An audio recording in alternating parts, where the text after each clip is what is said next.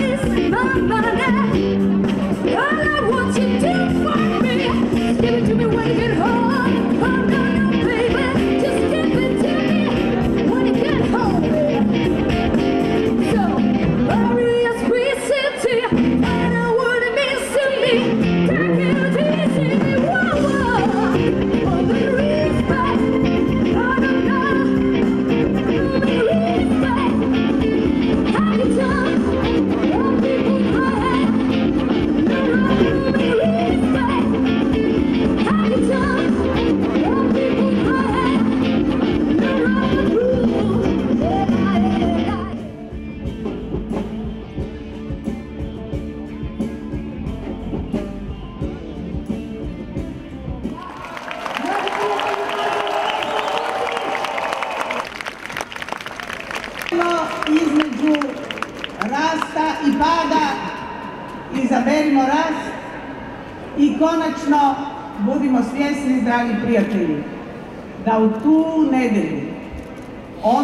studenog biramo između pada u prošlost i naše vlastite budućnosti.